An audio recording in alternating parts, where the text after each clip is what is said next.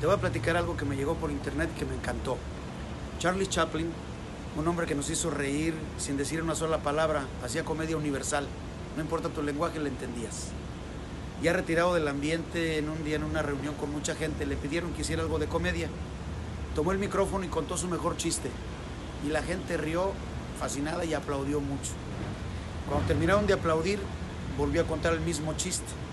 Y la gente ya se rió menos y aplaudió menos. Cuando terminaron de aplaudir los pocos que lo hicieron, volvió a contar el mismo chiste.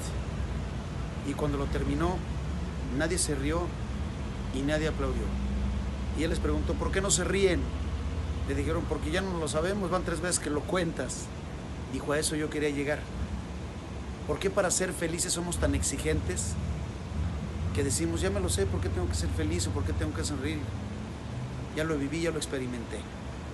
Sin embargo, para ponernos tristes y deprimidos somos capaces de recordar cosas que vivimos en el pasado, traerlas al presente y volvernos a sentir mal. Me encantó la reflexión. Hoy es el primer día del resto de mi vida y yo decido ser feliz. Que Dios te bendiga porque bendecir es bien decir, hablar bien de que Dios hable bien de ti. Mic, mic.